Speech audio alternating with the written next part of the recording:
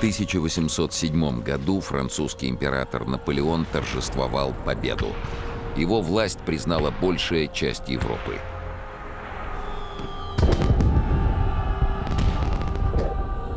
Россия, оставшись без союзников, была вынуждена заключить с Францией мир.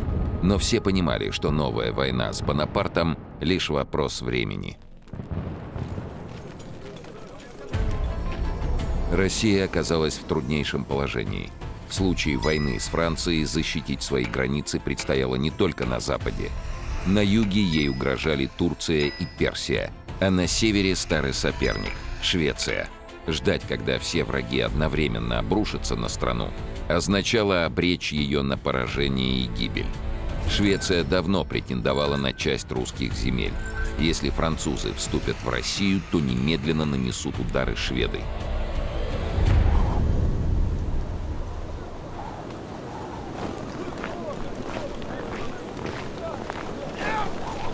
Русская армия была вынуждена вступить на территорию шведского королевства, чтобы ликвидировать угрозу с севера.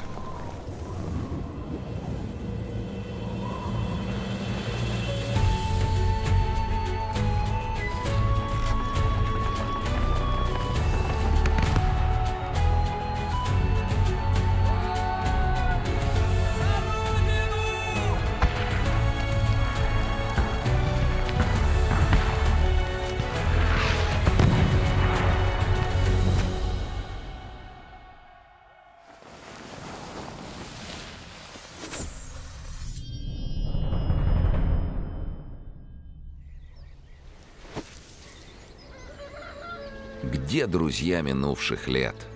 Где гусары коренные, председатели бесед, собутыльники седые?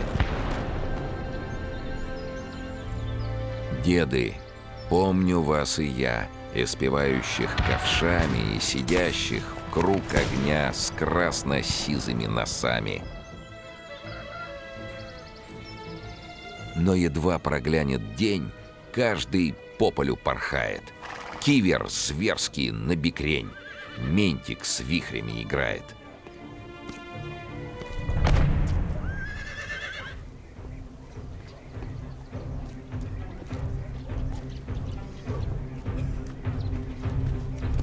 Известие о начале боевых действий между Россией и Швецией застало штаб ротмистра Давыдова в Москве, и он немедленно стал собираться на войну – Денису Васильевичу шел 24 год, но о нем уже знала вся русская армия.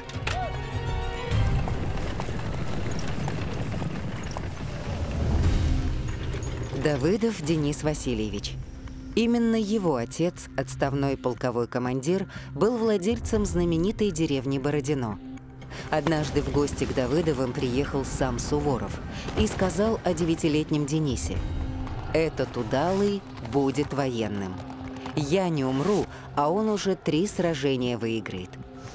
Давыдов поступил на службу в гвардейский кавалергардский полк, куда его не хотели принимать из-за очень маленького роста.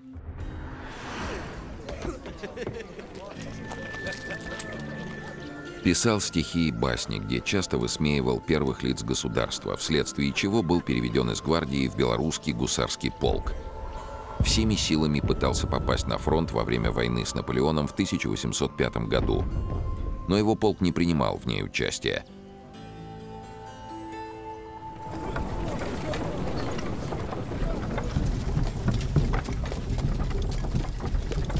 Чтобы попасть в действующую армию, Денис Васильевич пошел на крайние меры –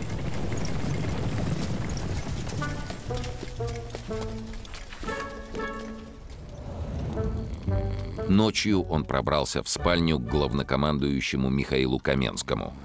Старый полководец мирно спал, когда в комнате появился Давыдов и громогласно потребовал немедленно отправить его на фронт. Бедный старик чуть не умер от страха.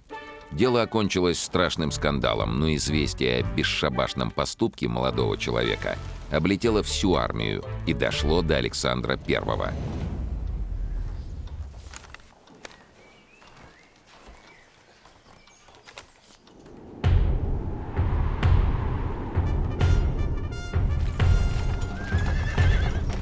Давыдов был направлен в действующую армию и назначен адъютантом генералу Багратиону. Багратиона он побаивался, поскольку некогда в стихах подшучивал над его длинным носом. Багратион Петр Иванович. Из древнего грузинского рода. Начал службу рядовым солдатом. Участник войн против Турции, походов Суворова и ряда других кампаний. За храбрость получил прозвание «Льва русской армии». Неоднократно лично водил солдат в атаку. В Бородинском сражении возглавит героическую оборону семеновских флешей. Получит тяжелое ранение и спустя 17 дней скончается. Генерал Багратион, завидев Дениса, сказал, «Вот тот, кто потешался над моим носом». Давыдов ответил, что писал о его носе только из зависти, так как у него самого носа практически нет, и указал на свой маленький нос пуговкой. Шутка Багратиону понравилась. В армии рассказывали такой анекдот. Когда Багратиону докладывали, что неприятель на носу, тот переспрашивал «На чьем носу?» Если на моем, то можно еще отобедать, а если на Денисовом, то по коням.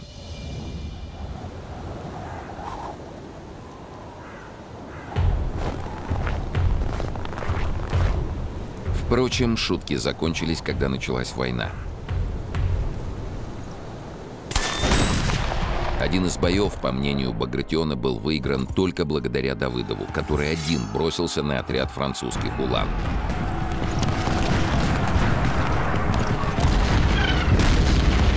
Французы, преследуя его, отвлеклись и упустили момент появления русских гусар.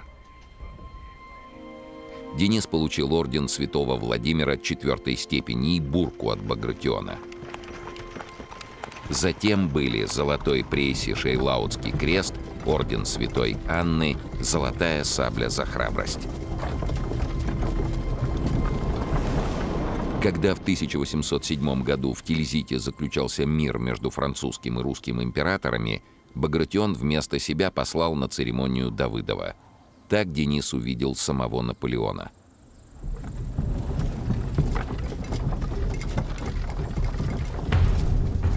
С армией французского императора ему еще только предстояло воевать. Накануне Отечественной войны он напишет 1812 год стоял уже посреди нас, русских, со своим штыком в крови по дуло, со своим ножом в крови по локоть.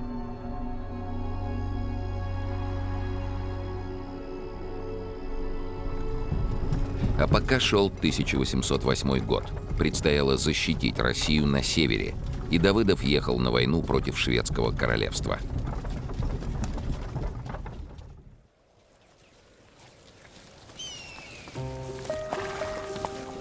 Шведы для России были врагом старым. Воевал с ними Александр Невский за Псковские и Новгородские земли. Сражались при Иване Грозном в Прибалтике. Бились в годы смуты. Но кульминацией этих сражений стала Великая Северная война. Великая Северная война началась в 1700 году и длилась 21 год. Русский царь Петр I совершил, казалось, невозможное. Разгромил непобедимую армию шведского короля Карла XII. Это была победа, которая потрясла всю Европу. Россия получила выход к Балтийскому морю и создала на Балтике военный и торговый флот. Здесь же выросла новая столица – Санкт-Петербург. Политическая ситуация изменилась навсегда. Россия получила статус империи и навсегда вошла в число самых влиятельных государств мира. Дважды Швеция пыталась вернуть утраченные земли. Оба раза безуспешно.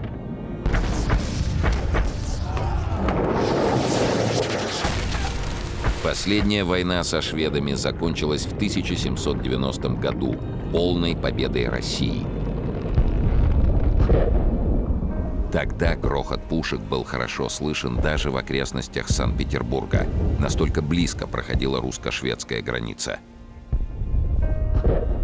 это вызывало немалую тревогу за безопасность столицы. С тех пор прошло 18 лет в мире. На одном из участков границы два государства соединял мост, переброшенный через реку Кюмень.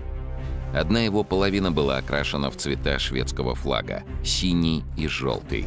Вторую русские солдаты окрасили черно-белыми полосами, так, как было принято красить пограничные столбы, сторожевые будки и другие казенные объекты.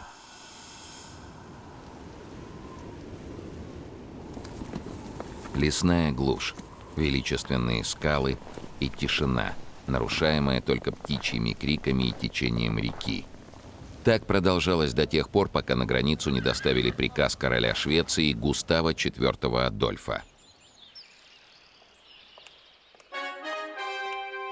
Приказ гласил полностью выкрасить пограничный мост желтым и синим.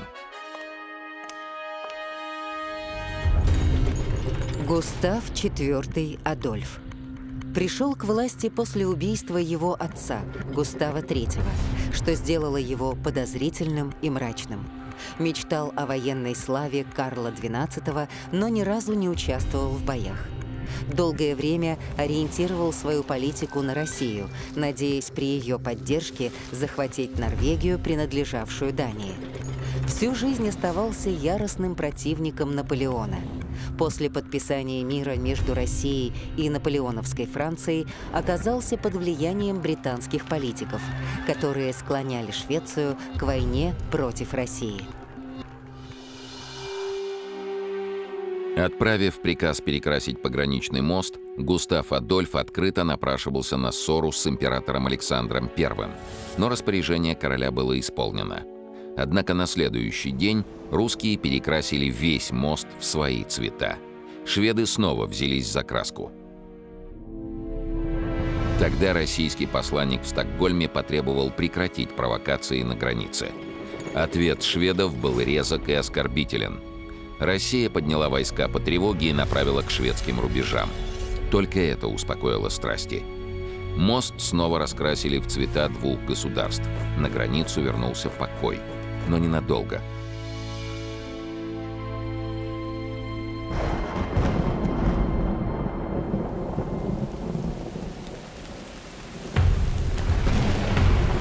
Конфликт между Стокгольмом и Санкт-Петербургом только усиливался, и основной причиной была политика Наполеона – 1804 году Наполеон Бонапарт провозгласил себя императором, а завоевательные походы значительно укрепили его позиции. Австрийская, прусская и польская компании превратили Францию в самую влиятельную державу Европы, и теперь Наполеон пытался диктовать свои условия врагам и союзникам.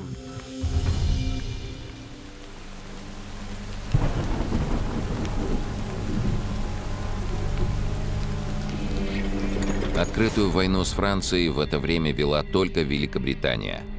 Бонапарт понимал, что не добьется полного господства на континенте, пока англичане не будут покорены. Не имея возможности подчинить Британию силой, он ввел так называемую континентальную блокаду. Континентальная блокада – система мероприятий, которую французский император Наполеон проводил с целью подрыва британской экономики – Подконтрольные Бонапарту морские порты были закрыты для английских судов. Британские корабли подлежали захвату, а товары – конфискации. После подписания мира с Францией континентальную блокаду вынуждена была поддержать и Россия –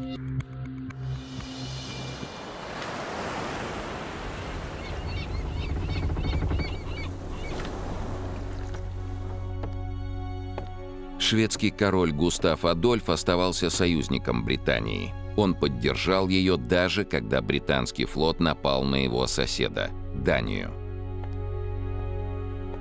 Англичане выжгли половину столицы Дании Копенгагена и увели весь датский флот.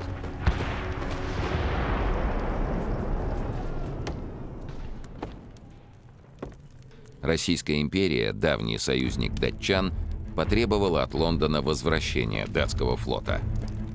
Последовал грубый отказ. Россия вступила с Британией в вялотекущую войну.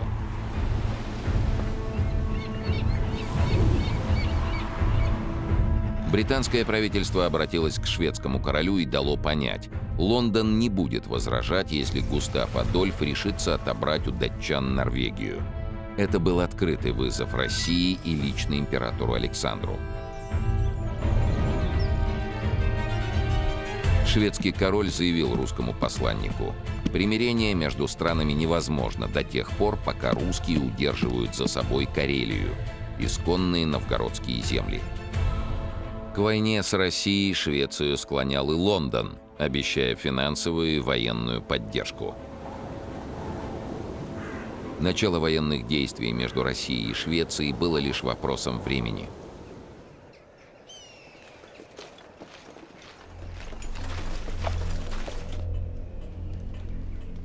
Александр понимал, новая война с Наполеоном могла начаться в любой момент. И тогда Россия окажется сразу под двумя ударами со стороны Франции и Швеции. Ситуация требовала незамедлительных действий.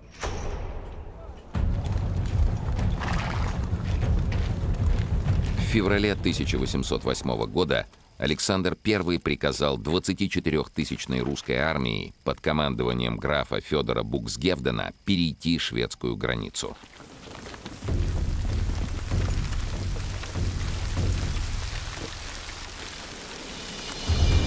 Буксгевден Федор Федорович, генерал от инфантерии, из старинного рода прибалтийских немцев, участник ряда военных кампаний и кавалер многих орденов.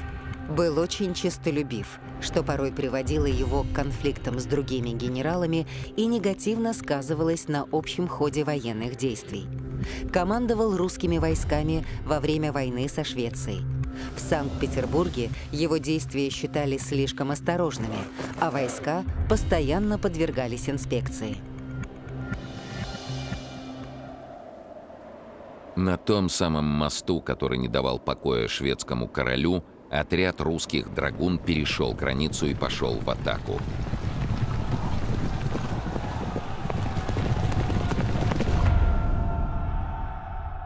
Война началась. Чтобы вступить на территорию самой Швеции, у русских войск было два пути.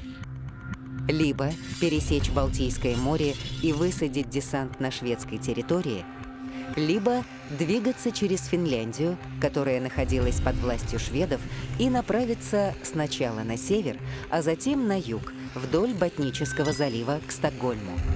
Но у русского командования не было задачи захватить Швецию.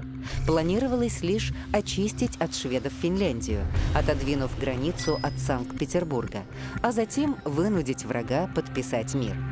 Поэтому основные боевые действия развернулись именно на финской территории.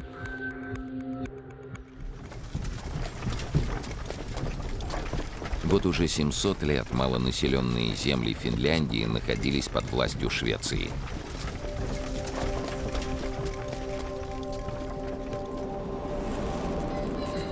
Финнов шведы воспринимали как людей второго сорта.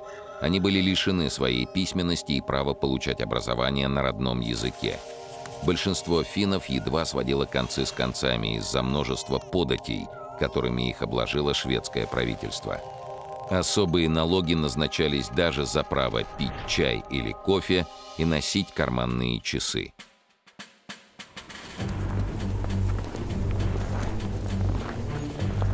Русский император Александр после завоевания Финляндии планировал дать ей конституцию, предоставить автономию в составе Российской империи, а коренному народу вернуть основные права. Но сначала нужно было победить шведов – шведы были застигнуты врасплох. Их небольшие гарнизоны сдавались без боя, либо отступали на север, и русские продвигались вперед почти без сражений. Был взят один из главных портов Финляндии – Гельсингфорс, ныне Хельсинки. Русские заблокировали самую мощную крепость противника – Свеоборг. Взят город Або, ныне Турку, а затем и Аланские острова, находящиеся в непосредственной близости от шведских берегов. В Петербурге решили, что Финляндия захвачена, и 20 марта 1808 года Александр I издал манифест о присоединении финских земель к Российской империи.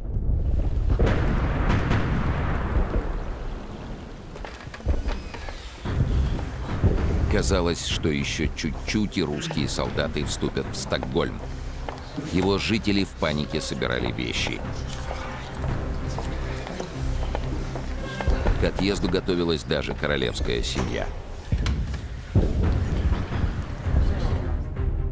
А тем временем шведский главнокомандующий генерал Мориц Клингспор готовился дать русским отпор и стягивал свои войска на север Финляндии.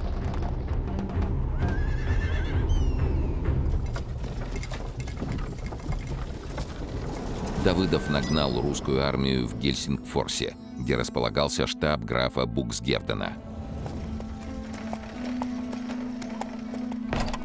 Многие ждали, что командующий даст приказ штурмовать крепость Свеоборг. Шли дни, но осторожный Буксгевден продолжал осаду.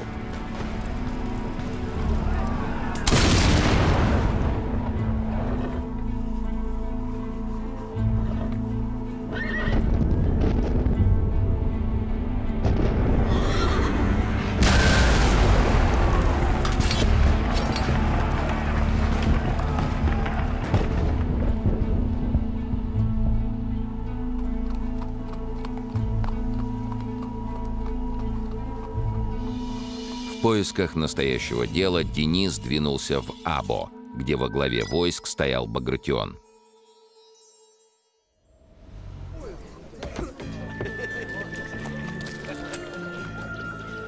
Но и здесь порохом не пахло. В Або веселились и давали балы. Давыдов узнал, что настоящие сражения ожидаются на севере.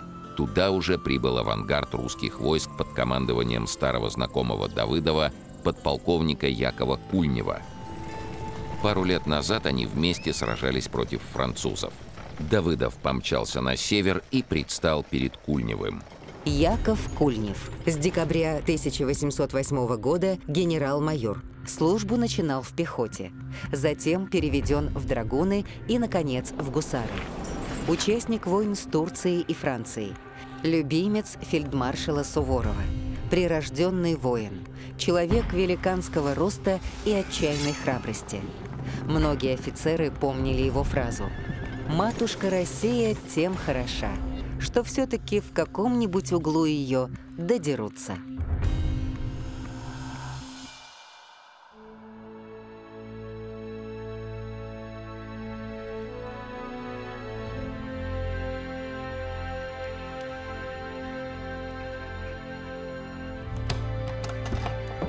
Увидев Дениса, Кульнев обрадовался. Он подтвердил, что со дня на день собирается дать шведам бой, и штаб-ротмистр Давыдов понял, что попал туда, куда стремился.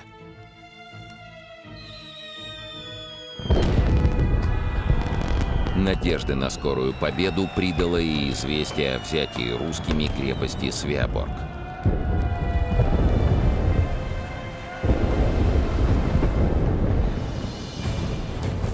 Ее гарнизон состоял из семи с половиной тысяч человек, у которых не было недостатка ни в боеприпасах, ни в продовольствии. Обороняться с такими силами можно было очень долго. Но комендант Свеоборга, вице-адмирал Кронстадт, продержался чуть больше двух месяцев. После переговоров с русским командующим он капитулировал, а вскоре даже принял российское подданство. Помимо ружей, пушек и боеприпасов – Русским досталось более 100 кораблей, которые пополнили российский флот. Шведские офицеры дали честное слово, что не будут воевать против России, и были отпущены. Такая практика существовала в то время. И обычно офицеры не нарушали данного обещания. Но русское командование даже не представляло, какую ошибку совершает – Тем не менее, враг был изгнан из северной части Финского залива. Русский флот получил новые порты в Балтийском море. Это был настолько большой успех, что в Петербурге даже устроили грандиозное празднование. Но вскоре выяснилось, что до окончательной победы еще очень далеко, а главные сражения этой войны еще впереди. Отдельные отряды шведов, отступившие на север, присоединились к своим основным силам, которыми командовал генерал Мориц Клингспор. Объединенная шведская армия была серьезной силой, и война с ней не обещала быть столь же легкой, как начало кампании.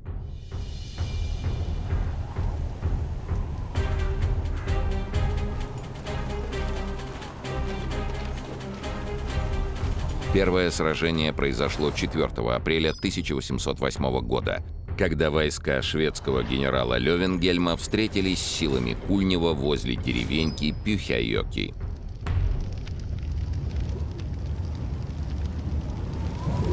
Кульнев приказал открыть огонь.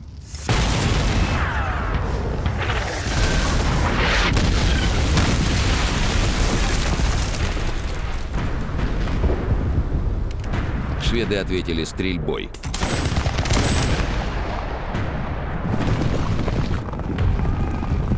А затем Левенгельм послал свою конницу в обход русских. Для Давыдова это был первый бой в этой войне. Каков он, новый враг? Действительно ли шведы так слабы, что могут только отступать?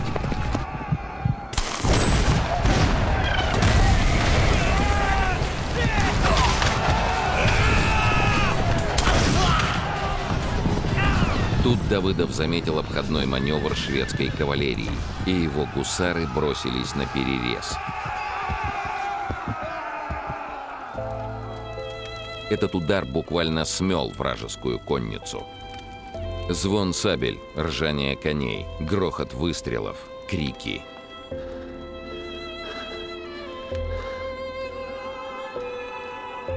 Вдруг Давыдов и его командир услышали, как кто-то по-французски взывает о помощи. В нескольких шагах они увидели залитого кровью Левенгельма. Кульнев подхватил шведского генерала. Его перевязали и отвели в безопасное место.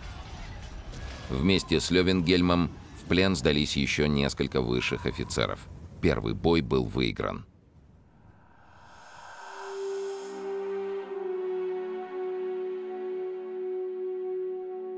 На следующий же день Кульнев приказал готовиться к новому выступлению. Давыдов убеждал его не торопиться. Он видел, как дрались шведы, не уступавшие по стойкости нашим солдатам.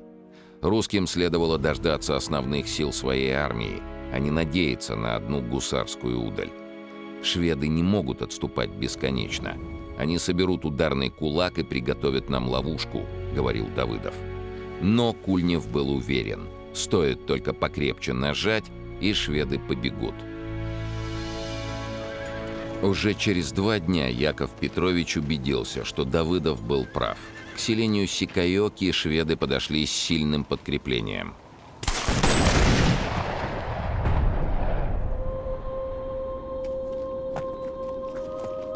В завязавшемся бою русский отряд был разгромлен – и его остатки отступали вместе с командиром.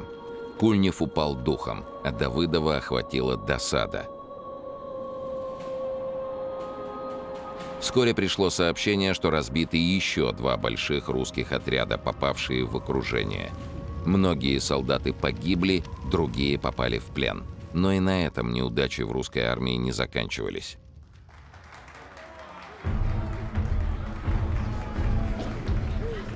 Вдохновленные первыми успехами на севере Финляндии, шведы решили вернуть утраченные позиции на юге. Аландские острова оставались важным стратегическим пунктом в считанных километрах от шведского побережья. Русские заняли острова еще в начале войны. Теперь туда направились корабли со шведским десантом. Как только шведы сошли на берег, к ним присоединились вооруженные местные жители. Обороной Аландских островов руководил полковник Николай Вуич. 25-й егерский полк, который он возглавлял, был лишен поддержки русского флота и отрезан от остальных армейских частей. После ожесточенного сопротивления полковник Вуич был вынужден сдаться.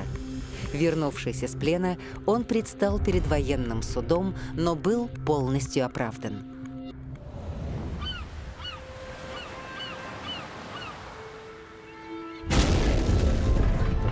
Вскоре английская и шведская эскадры атаковали малочисленный отряд русских военных судов и захватили мощный линейный корабль «Всеволод». Русская армия теряла свои завоевания. Если в начале войны объединенные силы русских громили отдельные отряды шведов, то теперь ситуация зеркально изменилась. Шведы собрали силы на севере, а русские войска были разбросаны на огромном расстоянии от Гельсингфорса до Якобстада. Связь между отрядами практически отсутствовала. Захватить Финляндию одним ударом и малыми силами не получилось. На финский фронт отправили пополнение.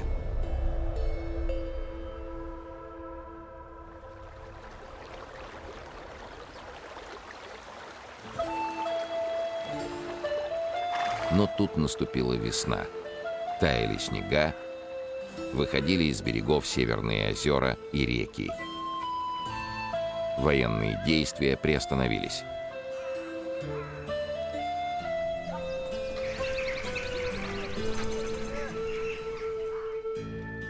В отряде Кульнева также наступило затишье.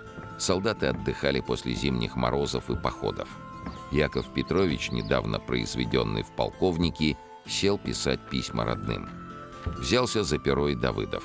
После пленения генерала Левенгельма поэт сочинил в честь командира шутливую оду. Пускай услышит свет, причуды Кульнева и гром его побед. Румяный Левенгельм на бой приготовлялся и, завязав жабо, прическу поправлял. Ниландский полк его на клячах выезжал. За ним и корпус весь клинк спора присмыкался. О, храбрые враги, куда стремитесь вы? Отвага, говорят, ничто без головы. Давыдов читал, Кульнев усмехался. Обоих тяготило вынужденное бездействие. И та первая победа вспоминалась теперь как что-то далекое и нереальное. Оба понимали, что русская армия надолго увязла в Финляндии. Толчком к новому развитию событий стали действия Великобритании. Ее правительство раздувало эту войну любыми средствами – Шведы получали деньги, оружие и любую помощь. Мало того, в Швецию прибыли 14 тысяч британских солдат. Получив такое подкрепление, Густав Адольф уже надеялся на скорую победу. Но ему помешал собственный неуживчивый характер. Король так и не смог договориться с английским генералом Джоном Муром, куда направить его солдат. После очередной ссоры король не придумал ничего лучшего, как посадить Мура под арест – Тому удалось бежать, и вскоре он вместе со своими солдатами покинул Швецию.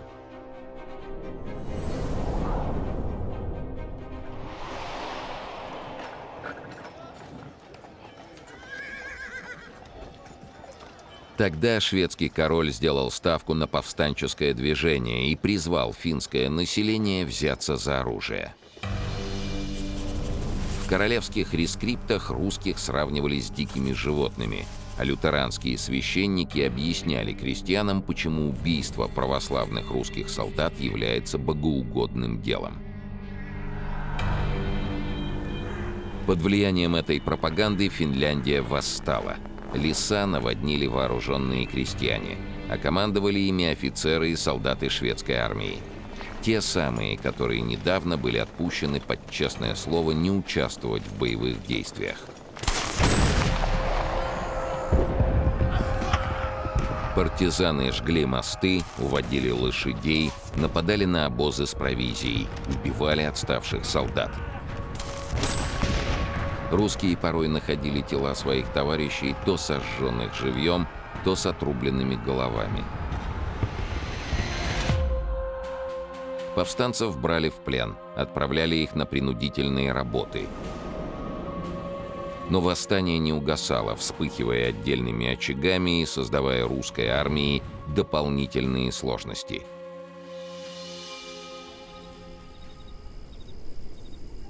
Тем временем пришло лето, дороги подсохли, начались сражения с основными силами шведов.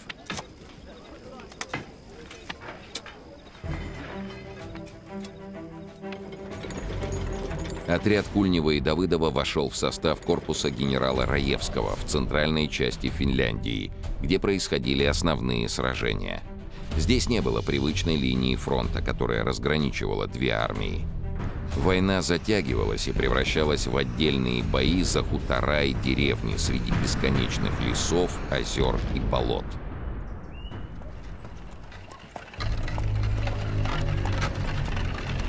А в русской армии начинался голод.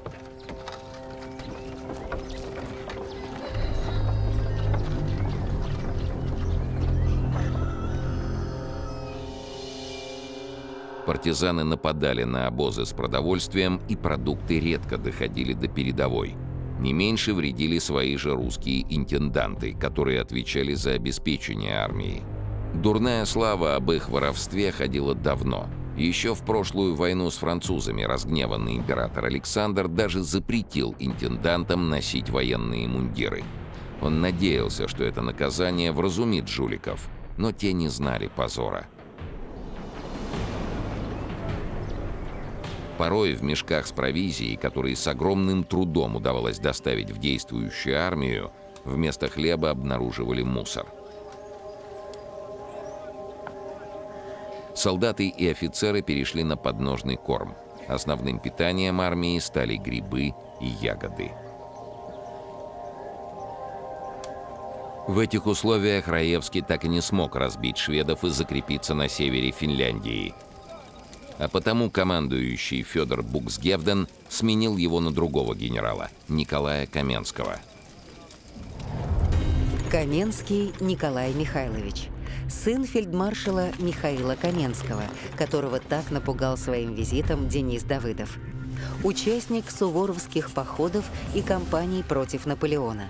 Славился непростым характером и заносчивостью в отношениях с офицерами. При этом всегда был внимателен к нуждам простых солдат. Не дожив до Отечественной войны 1812 года, скончался от лихорадки. Буксгевден напутствовал Каменского словами. «Буду с нетерпением ждать от вас известий. Взоры всей армии устремлены на корпус ваш».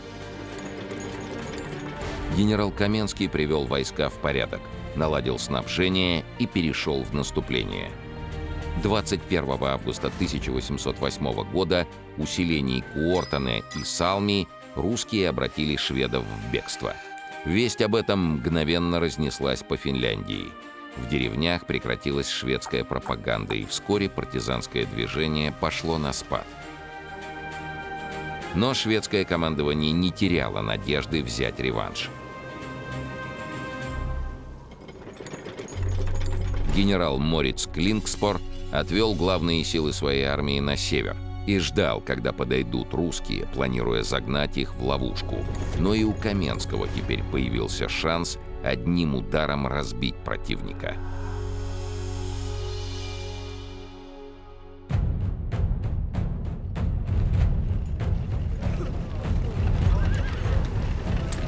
Решающее сражение состоялось 2 сентября 1808 года, усиление Оровайс. Первым атаковать противника должен был отряд Кульнева –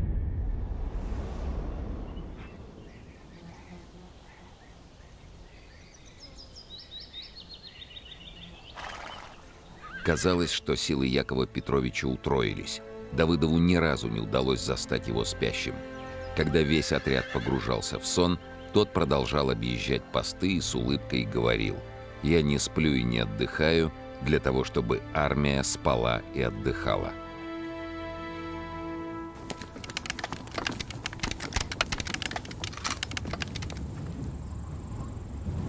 На рассвете 2 сентября полковник скомандовал атаку – и русский авангард двинулся на шведов. Те сначала отступили, а затем неожиданно нанесли удар по флангу. Положение спасли подошедшие войска Каменского, и сражение продолжилось. Шведская артиллерия не умолкала ни на минуту. Русские части несли тяжелые потери.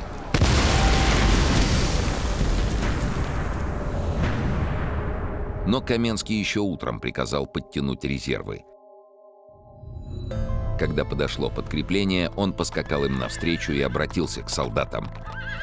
«Покажем шведам, каковы русские. Не выйдем отсюда живы, не разбивши шведов в пух. Ружья наперевес. За мной!» Ударили барабаны, и Каменский лично повел в бой свой резерв.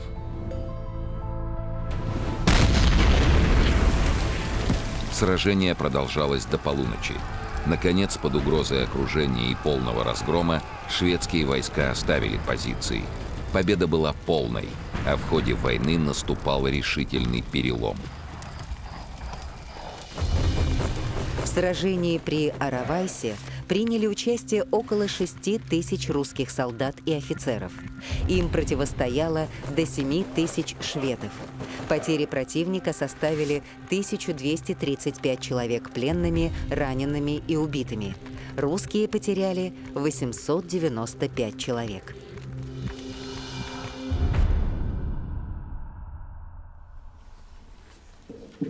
При шведском дворе начали поговаривать о капитуляции. Однако король не хотел и думать об этом.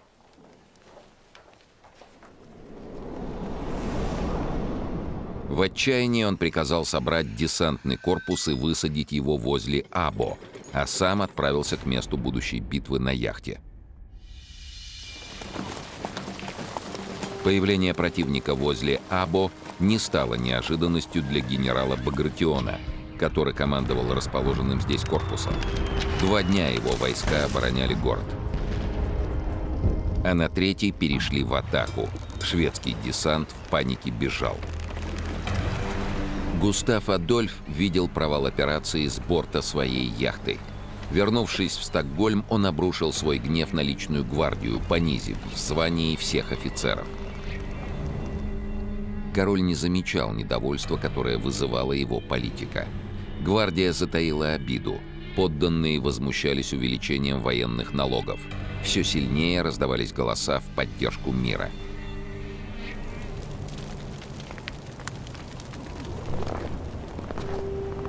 Но Густав Адольф предложил лишь перемирие. Буксгевден согласился, желая дать русским войскам передышку. Кульнев тяготился бездействием и часто жаловался Давыдову на скуку. Тот был разочарован не меньше, но приказ требовал оставаться на месте. Шведы враждебности не проявляли. Противники сначала присматривались, затем встречались и беседовали на нейтральной территории.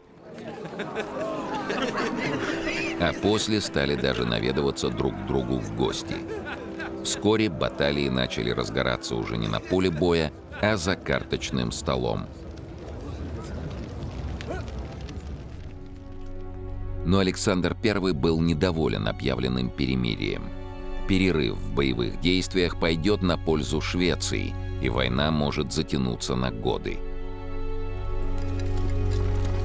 Из Петербурга пришло высочайшее повеление – возобновить военные действия и к началу зимы полностью овладеть Финляндией. А шел уже октябрь месяц. Русская армия снова двинулась вперед. Врага гнали на север, до самой Лапландии, через непроходимые болота и бездорожья. Шведы больше не могли рассчитывать на поддержку партизан. Те давно разбрелись по домам. Снабжение их армии заметно ухудшилось, и она сдавала позицию за позицией.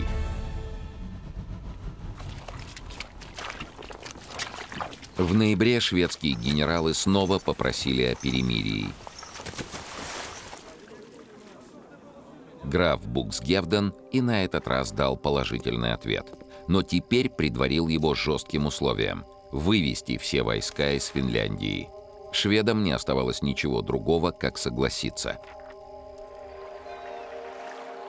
Выполнив данный государем приказ, Буксгевден подал прошение об отставке. Командующий был недоволен тем, что в Петербурге ему не слишком доверяют, оспаривая чуть ли не каждое его решение –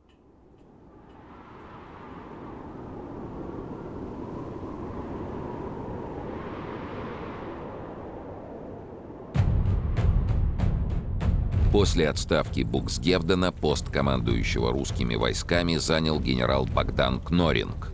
Шведская армия, хотя и отступила из Финляндии, но в любой момент могла нанести удар.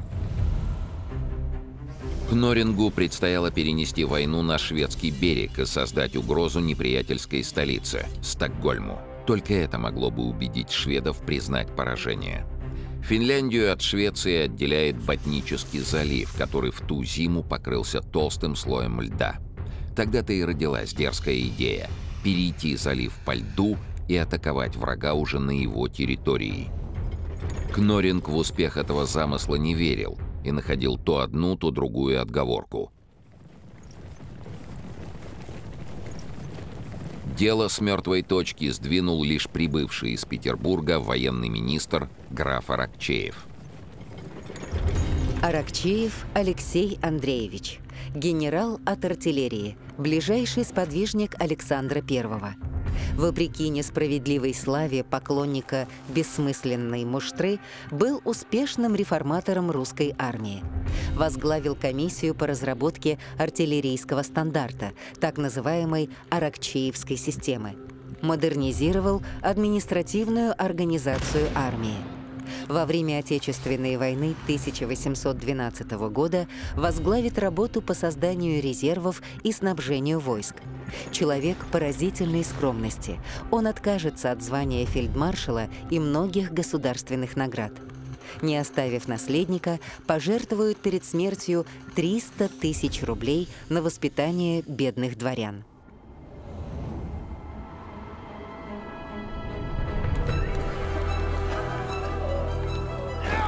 Операция по пересечению Ботнического залива началась. По льду среди торосов, по колено в снегу и почти без отдыха Русским солдатам предстояло пройти около 70 километров от города Або до Аландских островов, а затем еще 40 километров до побережья Швеции.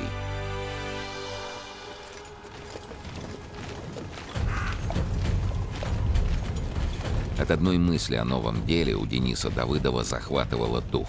Вскоре он убедился, это образное выражение может иметь буквальный смысл –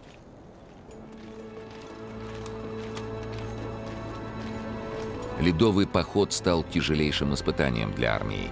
Солдаты карабкались по гигантским ледяным торосам, а затем часами шли, проваливаясь в снег под пронзительным ветром. И так день за днем, километр за километром. Современники сравнивали эту операцию со знаменитым Суворовским переходом через Альпы. Наконец, 7 марта Багратион получил донесение от Кульнева.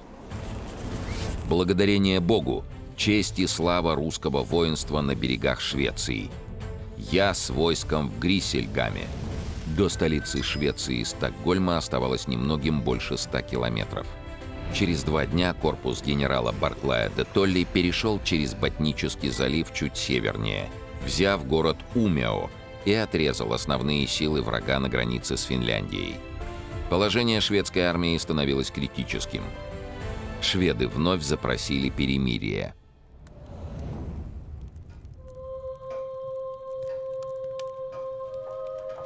А вскоре пришла еще одна новость. В Стокгольме произошел государственный переворот. Заговорщики взяли Густава Адольфа под арест. 13 марта 1809 года король отрекся от престола и покинул страну. Трон перешел к его дяде Карлу XIII. Новое шведское правительство пыталось выйти из войны с наименьшими потерями. Но точку в ней поставил вернувшийся из отпуска Николай Каменский.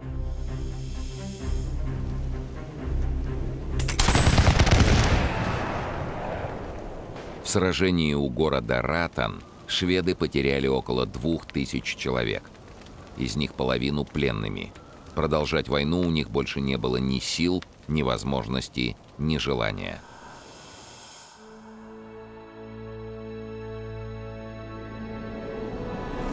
5 сентября 1809 года представители России и Швеции подписали Фридрихсгамский мирный договор, окончив тем самым самую последнюю в истории русско-шведскую войну.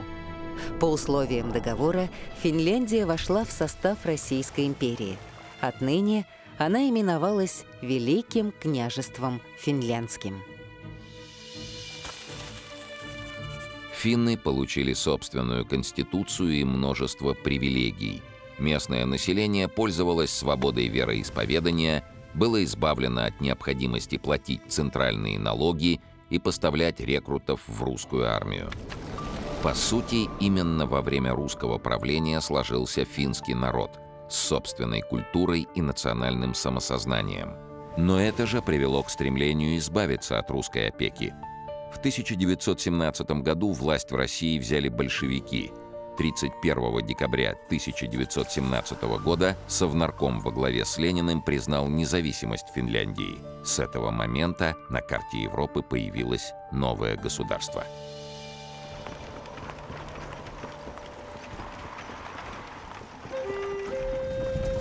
Денис Давыдов возвращался домой не зная о тех испытаниях, которые история готовила его родине. Пройдет всего три года, и армия французского императора Наполеона вторгнется в Россию. Старший друг Дениса Давыдова, генерал Яков Кульнев, погибнет 20 июля 1812 года в одном из первых боев с французами у деревни Клястицы. Вражеское ядро оторвет ему обе ноги.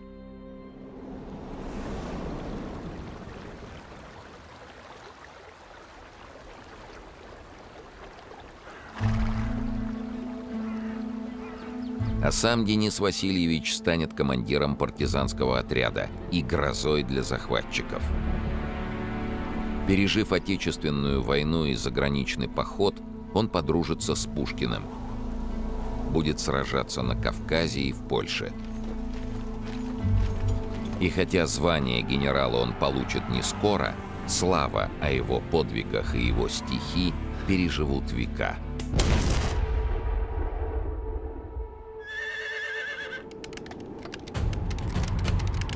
Я люблю кровавый бой. Я рожден для службы царской. Сабля, водка, конь гусарской. С вами век мне золотой.